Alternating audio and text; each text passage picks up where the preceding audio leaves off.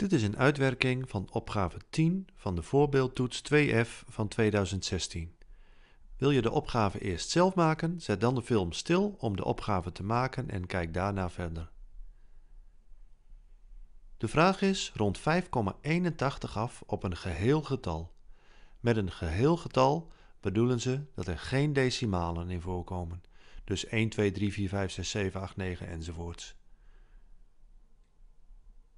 We moeten 5,81 afronden, dat zit tussen de 5 en de 6 in.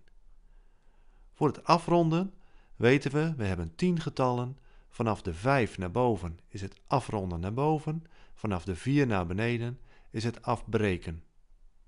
Omdat we op een heel getal moeten afronden, kijken we naar het eerste getal achter de komma. Dit is een 8, dus we moeten afronden naar boven. Je zou ook kunnen zeggen 5,81 ligt dichter bij 6 dan bij 5. Dus 6 vullen we in.